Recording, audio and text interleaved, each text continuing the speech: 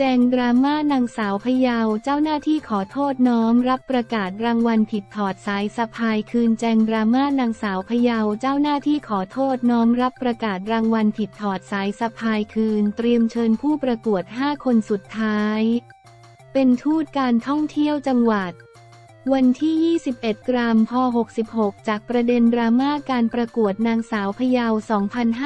2566 รอบคัดเลือกคืนสุดท้ายเมื่อประกาศผลรางวัลผิดพลาดในตำแหน่งรองชนะเลิศอันดับหนึ่งจากหมายเลข 4 แต่ประกาศเป็นผู้เข้าประกาศหมายเลข 2 ทำให้เกิดกระแสดราม่า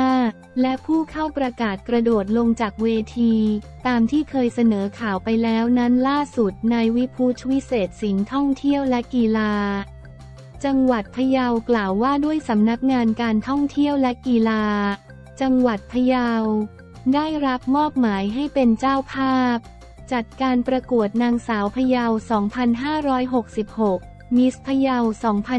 2023 ในงานสืบสารประเพณีของดีจังหวัดพะเยาในคืนวันอาทิตย์ที่วันที่ 19 กุมภาพันธ์ 66 ซึ่งการประกวดนางสาวพะเยามีมาตั้งแต่ 70 กว่าปีแล้ว ในการจัดประกวดนางสาวพะเยาครั้งนี้อยู่ภายใต้แนวคิด งดงามสร้างสรรค์ส่งเสริมสารต่อ และมีวัตถุประสงค์ของเพื่อเปิดโอกาสให้สตรีไทยที่มีความสวยงาม ความรู้ความสามารถมีคุณสมบัติเหมาะสม และมีภูมิลำเนาในพะเยาโดยกำเนิด มาส่งเสริมและฟื้นฟูการท่องเที่ยวของจังหวัดพะเยา มีน้องๆสาวงามที่ให้ความสนใจในการประกวด มาสมัครประกวดอยู่ 13 คน ช่วงการประกาศรางวัลเกิดข้อผิดพลาดของการประกาศผลรองชนะเลิศอันดับหนึ่งได้หมายเลข 4 แต่ผิดพลาดด้านเอกสารประกาศผลเป็นหมายเลข 2 ซึ่งไม่ได้รางวัลแต่ติดหนึ่งใน 5 คนสุดท้าย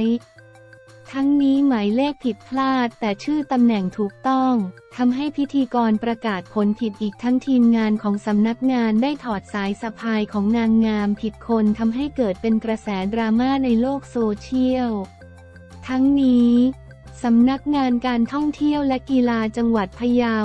ขอกล่าวคำขอโทษอย่างจริงใจ และขอน้อมรับผิดพลาดไว้มาณโอกาสนี้สำหรับผู้เข้าประกวดนางสาวพะเยา 2566 ที่เข้ารอบ 5 คนสุดท้าย สำนักงานการท่องเที่ยวและกีฬาจังหวัดพะเยา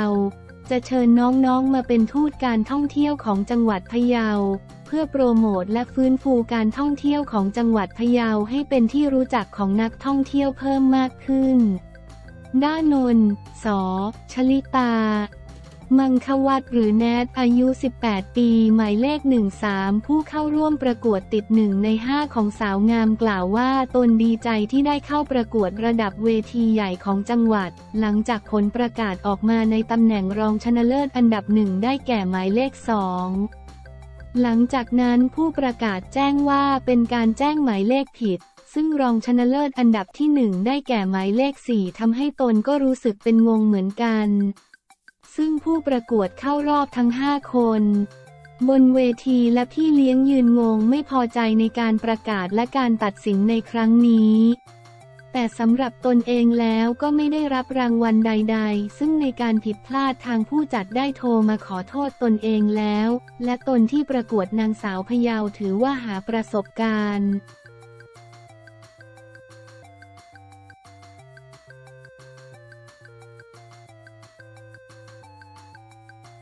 บิวจักรพันธ์หอบหลักฐานยื่นฟ้องคู่กรณีตอบคำถามแบบชิวๆบิวจักรพันธ์อดีตนักแสดงสังกัด BOC หอบหลักฐานยื่นฟ้อง แฟนเก่า คู่กรณีสร้างความเสียหายปฏิเสธทุกข้อกล่าวหาตอบคำถามแบบชิวๆบิวจักรพันธ์ นักแสดงสายวายพร้อมทนายหอบหลักฐานขึ้นศาลอาญาฟ้อง อดีตแฟนสาวคู่กรณี จากที่อดีตแฟนสาวออกมาแฉว่านักแสดงหนุ่มคบซ้อนทั้งที่ตัวเองเปยทุกอย่างให้แถมยังโดนทำร้ายร่างกายสั่งพักงานบิวจักรพันธ์ ดราม่าระอุทำร้ายผู้หญิงที่สาวแฟนอีกคนแจงขอจบดิวจากกระพันประกาศลาออกต้นสังกัดชีวิตพังทลายสิ้นขอเอาความจริงสู้ในชั้นศาลชาวเน็ตตั้งเป้าเครื่องหมายสี่เหลี่ยมบอยกอตบอกหลังประธานเข้าข้างดิวจากกระพันโดยนักแสดงหนุ่มยืนยันว่าไม่ได้ทำร้ายร่างกาย เป็นแค่การเล่นกันเท่านั้น ส่วนเรื่องท้องตนทราบเพราะฝ่ายหญิงมาบอกว่าท้องและทำแท้งไปแล้ว ส่วนถ้าทราบก่อนว่าอีกฝ่ายท้องก็พร้อมรับดูแลลูกเอง และค่อนข้างไม่เชื่อว่าเรื่องท้องเป็นความจริง 100%สำหรับเรื่องเงินได้ทำการเคลียร์ทุกอย่างกับฝ่ายหญิงแล้วตั้งแต่มีประเด็น ถามถึงเรื่องการคบซ้อนจริงไหมนักแสดงหนุ่มตอบว่าไม่ได้คบซ้อน พยายามบอกเลิกหลายครั้งมาก แต่ฝ่ายหญิงข่มขู่ว่าจะออกมาแฉเรื่องความสัมพันธ์ โดยคำฟ้องที่บิวยื่นฟ้องคือหนึ่งข่มขืนใจให้กระทำการสองกันโชคทรัพย์รีดเอาทรัพย์สามดูหมิ่นด้วยการโฆษณาและสี่หมิ่นประมาทด้วยการโฆษณาทำให้กลัวว่าจะสูญเสียอนาคตในการทำงาน พร้อมเจอคู่กรณีเพื่อเคลียร์ทุกอย่างให้จบ ส่วนเรื่องที่อีกฝ่ายบอกว่าจะฟ้องนั้น ตนยังไม่ได้รับหมายใด ๆ ทั้งสิ้น สุดท้ายนักแสดงหนุ่มได้ขอบคุณแฟนคลับและครอบครัว รวมทั้งเพื่อนๆนักแสดงที่ให้กำลังใจตลอดสุดท้ายสำหรับบทสรุปของเรื่องราวนี้จะเป็นอย่างไรต่อไป คงต้องรอติดตามกัน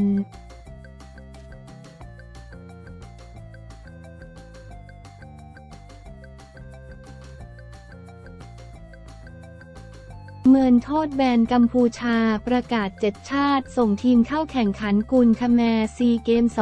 2023 สหพันธ์กุนขแมร์นานาชาติ KKIF ประกาศว่ากุนขแมร์ซีเกมครั้งที่ 32 ที่กัมพูชาจะเป็นเจ้าภาพ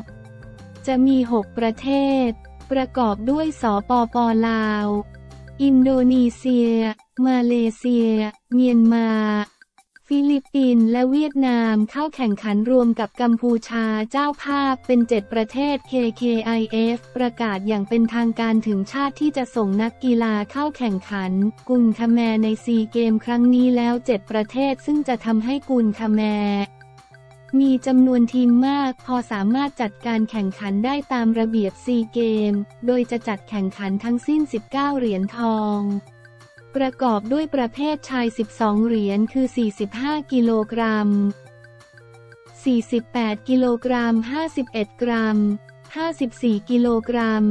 57 กิโลกรัม 60 กิโลกรัม 63.5 กิโลกรัม 74 กิโลกรัม 75 กิโลกรัม 81 กิโลกรัม และประเภทร่ายรำ คุณครู และหญิง 7 เหรียญทอง 45 กิโลกรัม 48 กิโลกรัม 51 กรัม 54 กิโลกรัม 57 กิโลกรัม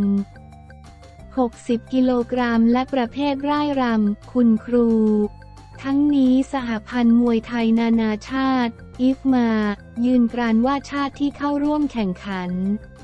กุลคาแมจะถูกแบนเข้าร่วมการแข่งขันมวยไทย ในระดับนานาชาติ 1-2 ปี แต่ดูเหมือนคำขู่จะไม่ได้ผล เมื่อในจำนวนนี้ 4 ประเทศคือมาเลเซีย เวียดนาม ฟิลิปปินส์ อินโดนีเซียเป็นสมาชิก IFMA ส่งทีมเข้าแข่งขันกุนขแมร์ส่วนกัมพูชาและสปปลาว และเมียนมาไม่ได้เป็นสมาชิก IFMA